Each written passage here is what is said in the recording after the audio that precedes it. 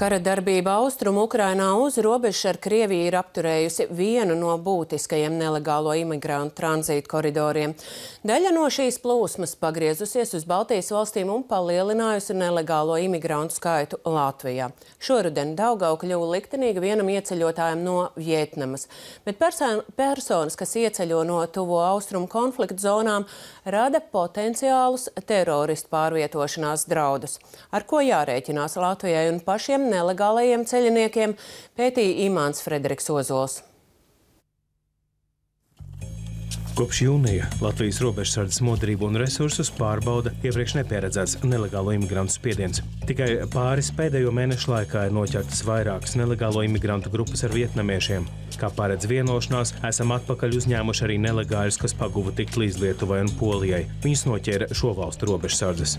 Augusta pēdējās dienās robežsargi ar sunu aizturēja četrus Vietnamas un vienu Krievijas pilsoni, taču drāma likteņu upes Daugavas ūdeņos bija sākusies jau agrāk. Gāja bojā cīniski savā mērā, jo pārvietotājs pārvietoja pa upi, pats peldēja laivā, nelegāli imigranti turējās pie laivas. Viņam kaut kādā brīdī šķita, ka ir nu, draudz biesums, aizturēšana vai kā viņš ar airi atbrīvoja šīs personas no laivas, no viens no viņiem noslīka. Nemācīja peldēt. Pats viņš peldēja laivā, pārējiem peldus. Nu, ne visi, ne visi cilvēki prot peldēt. Restaurēt visu notikumu tagad ir izmeklētāja ziņā ierosinātas divas lietas - gan par personas nonāvēšanu, gan par personu nelikumīgu pārvietošanu. Prokuratūra vēlas tās apvienot vienā krimināla procesā. Mirstīgās atliekas atrada, ka tās jau nevienu dienu vien bija pavadījušas ūdenī. Pēc tiesu mediķu veiktās ekspertīzes tās vēl turēja morgā, taču ilgāk vairs nevarēja gaidīt. Slīkoņu kadeveri bojājas burtiski acu priekšā. Galu galā 20 gadus vecais puisis kā neidentificēts apglabāts komunālo dienestu atvēlētajā sektorā Daugavpils kapos. Abadījums ir svaigs, tādēļ pagaidām šo vietu vēl nav grūtība atrast. Tiklīdz izdzisīs ar flomasteru rūpīgi izzīmētais uzraksts uz koka dēlīša, nebūs vairs nekādu norāžu par nelegālo ceļinieku, kurš pēdējo atdūsas vietu radis 7,5 tūkstošu kilometru no savas dzimtenes, valstī, kurā nemaz nevēlējās nonākt. Vietnamieši ir raksturīgi ekonomiskie bēgļi, kas lielā daudzumā jau atrodas mūsu tiešajā kaimiņu valstī Krievijā, Jo īpaši, kad palielinās spiediens no Krievijas atbildīgiem dienestiem, viņi cenšas mērot ceļu uz Eiropu. Ja paveic aizlavīties garām robežsargiem, viņi gal galā nonāk Polijas vai Vācijas pagrīdes rūpnīcās. Taču šeit, par spīti ceļa sākumā iemaksātiem tūkstotim dolāru, viņiem jau uzrēķināti vēl desmit pa virsu.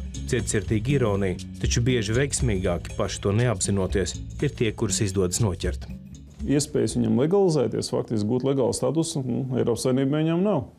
Ja viņš tiek aizturēts, tad tiek noskaidrot viņa identitāte, viņš tiek atgriezts uz valsts, no kuras viņš ir nācis. Ja? Nu, viņa izcelsmes valsts. Valsts uh, ne, ir, bet, bet, ir ja signāli par to. Nu, nu, mēs viņu nenoķeram, nu, viņš tur strādā, strādā, strādā. Nomirst un viņa apglabā. Medumos Lietuvas pierobežā transporta līdzekļus aptur un pārbauda robežsardas imigrācijas kontrolas norīkojums. Pāris mēnešos jau aizturēts vairākas nelegālo personu grupas. Visbiežāk vietnamieši un afgāņi, kas nelegāli ieradušies no Krievijas. Uz katru noķerto ir vismaz viens, kurš ticis tālāk un noķerts Lietuvā vai Polijā. Viņus atgriež Latvijā.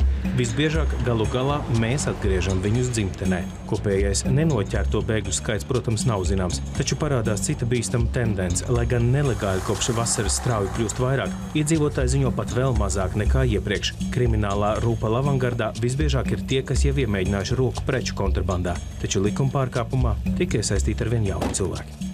Viņi centās arī pieturēties. Nu, šogad mēs saskaramies ar pavisam citu nu, nosacītu fenomenu, ne fenomens, bet ir aizturētas jau mums ir divas grupas ar 14 personu pārvietošanu. Vēl ir aizturēta persona, kur pārvietoja 12 no kurām viens tika nonāvēts pārvietošanas laikā. Cilvēks uh, nevienmēr apzinās, uz ko viņš ir parakstījies, uz kādām darbībām viņš ir parakstījies. Ja, tiek meklēti pārvadātāji, cilvēks, kurš būtu gatavs pārvest noteiktu skaitu cilvēku. Viņš līdz galam nesaprot, ko viņš dara. Nu, likuma nezināšana neatbrīvo no atbildības. Ja, viens no viena vien no tēzēm. Līdz ar to viņi pēc tam nokļūst ļoti lielās nepatikšanās. Bet pamatā, protams, ir jāatrod šis, un uz to arī tiek vērtēts šis cilvēks, kurš ir atradis vai šo nejaušo pārvadātāju.